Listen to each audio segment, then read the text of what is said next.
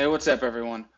So, uh, in that last episode, the last thing that we did was uh, display that spacing. So, if we change that orientation, we can actually change the spacing, um, and we just displayed that text right there. There's one more kind of interesting thing we can do with this uh, mini project.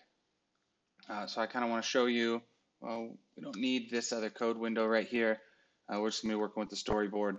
So, if I go over here, if I go over here to my hierarchy view, um, I'm gonna control click, or sorry, shift click on, let me just close everything first. Shift click on the stack view, the other stack view, spacing slider, and then this stack view. So I'm just selecting everything really easily from, from over here, from in this hierarchy view. Uh, I'm gonna embed, so first of all, notice that all of these individual pieces have um, yeah, so all these individual pieces here have have constraints on the outside edges. Okay, so one of the things I'm going to do now, I'm going to go to editor and embed in stack view. Okay, so now I put them all in their own little stack view. Uh, notice it it kind of can tell uh, Xcode can kind of tell what their orientation is. So it realizes that I probably want vertical for that stack view um, axis. But also notice that those outside uh, constraints are all gone. The inside ones, so for example, the, the height constraint on this other stack view is still there, but anything that constrained to the parent is is wiped. You don't have to worry about that. Well, you, in a way, you do have to worry about it because I have to now constrain uh, this stack view to the parent. So that's what I'm going to do. I'm going to constrain everything. I'll just keep everything at 16, basically like what it was before. So I'm going to add these constraints. Uh, the reason we want to do this is because we actually we want to get rid of this. Uh, there's there's a chance the thing that we want to do with this stack view is allow it to grow beyond just some uh, hard like hard size of like 300 for example. So before the thing that we did in order to keep xcode happy and keep uh, the auto layouts happy is we had this height of 300 we're going to delete that height okay? Uh, and so if we run it now maybe we'll get some weird behavior. We haven't set anything on that on that stack view. So you notice how it kind of did that jump right? And then, but there's there's a whole lot of extra space here that I can play around with. Uh, so it's still kind of, again, I'm getting like some weird behavior.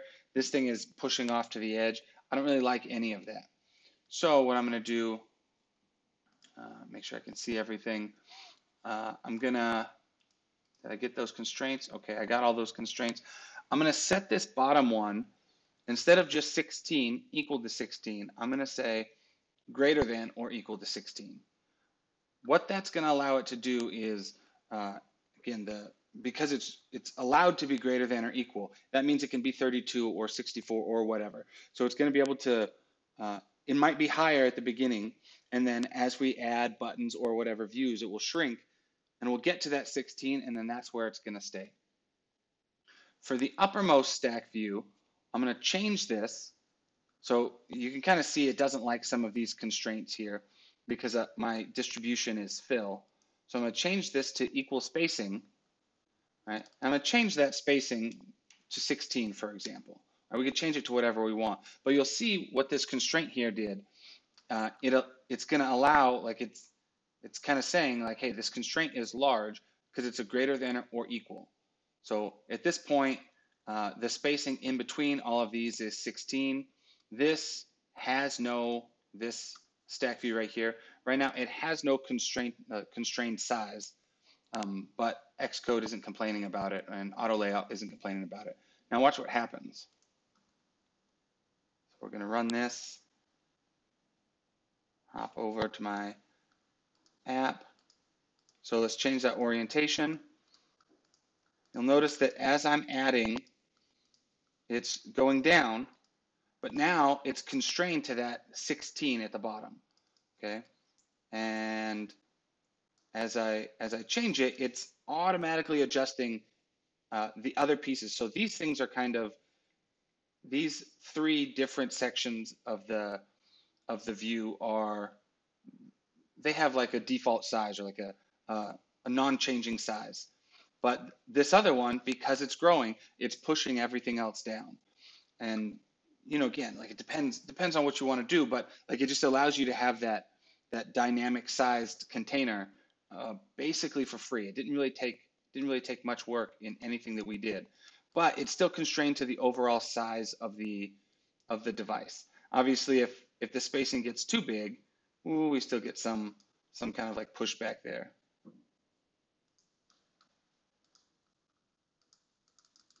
But we can keep adding that that spacing really kind of blew it away. But uh, we can keep adding, and you'll see like it's just shrinking more and more inside, or like um, the pieces are shrinking more and more inside this big thing, but these pieces aren't moving.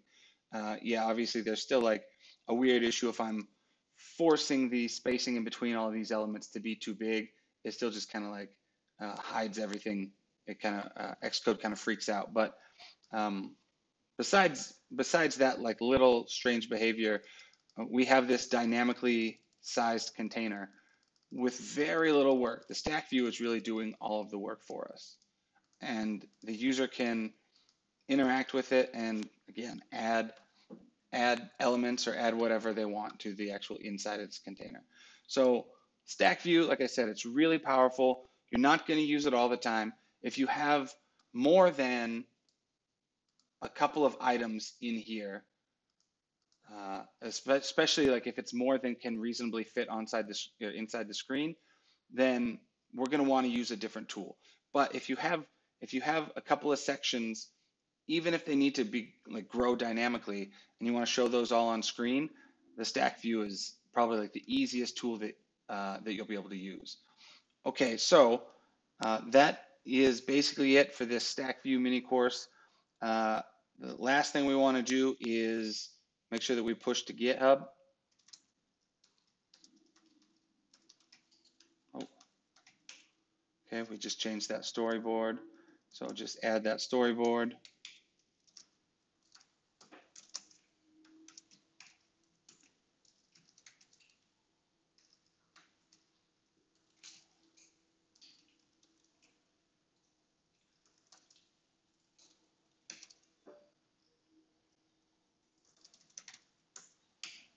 Okay, and push that up. And we're done. So we've learned a whole bunch about the stack view. The next thing we're gonna do is actually start working on that calculator. See you in the next episode.